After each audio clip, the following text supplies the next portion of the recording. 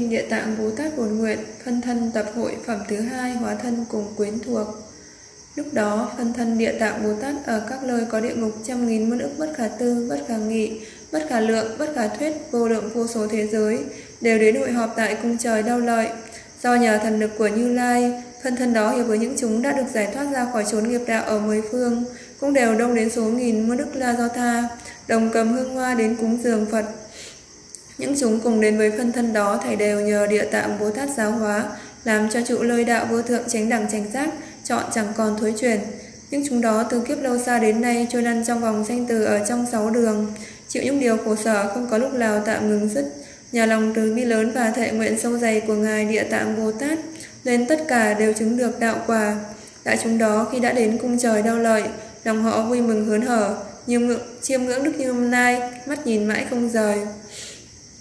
hai Đức Như Lai an ủi ủy thác. Bây giờ Đức Thế Tôn giơ tay sắc vàng cho đảnh của hóa thân địa tạng Đại Bồ Tát trong trăm nghìn muôn ức bất cả tư, bất cả nghị, bất cả lượng, bất cả thuyết, vô lượng vô số thế giới mà dạy rằng ta ở trong đời ác ngũ trược, giáo hóa những chúng sanh cang cường đầy tội khổ.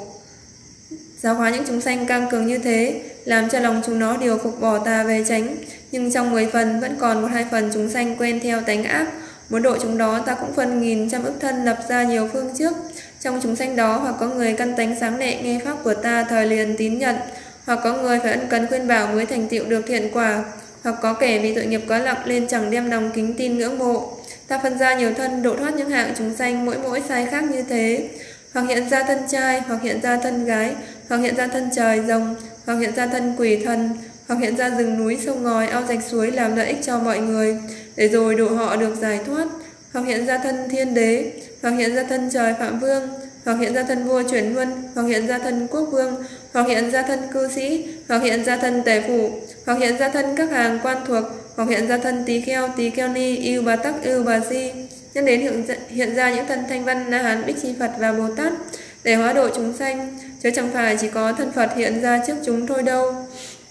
Địa tạng, ông xem ta đã trải qua ba số kiếp nhọc nhằn độ thoát những chúng sanh căng cường đầy tội khổ khó khai hóa như thế. Ngoài ra những kẻ chưa điều phục được thời phải theo nghiệp thọ báo, nếu khi chúng nó có bị đọa vào đường dữ, chịu nhiều nỗi thống khổ. Thời ông nên nghĩ nhớ ta ở cung trời đau lợi ân cần phó chúc đây, mà gắng độ chúng sanh, làm cho những chúng sanh trong cõi ta bà này, đến lúc Phật Di Nặc ra đời đều đặng giải thoát khỏi hẳn các điều khổ, gặp Phật được Đức Phật thọ ký. Bây giờ những hóa thân địa tạng Bồ Tát ở các thế giới hiệp chung lại một hình rơi lại thương cảm và bạch cùng Đức Phật rằng từ số kiếp lâu xa đến nay, con nhờ Đức Thế Tôn tiếp độ rất dìu, làm cho con được thần lực chẳng thể nghĩ bàn, đầy đủ trí huệ rộng lớn, còn phân hiện thân hình ra ở cùng khắp trăm nghìn muôn ức hằng hà xa thế giới. Trong mỗi thế giới hóa hiện trăm nghìn muôn ức thân, mỗi thân đó hóa độ trăm nghìn muôn ức người, làm cho quy kính ngôi tam bảo khỏi hẳn vong sanh tử hướng vui niết bàn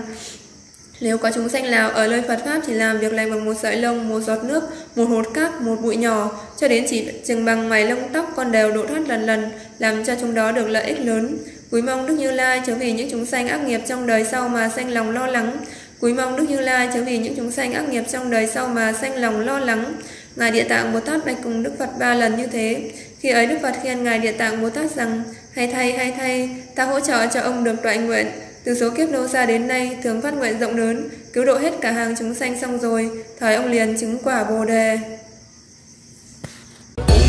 Ha ha ha,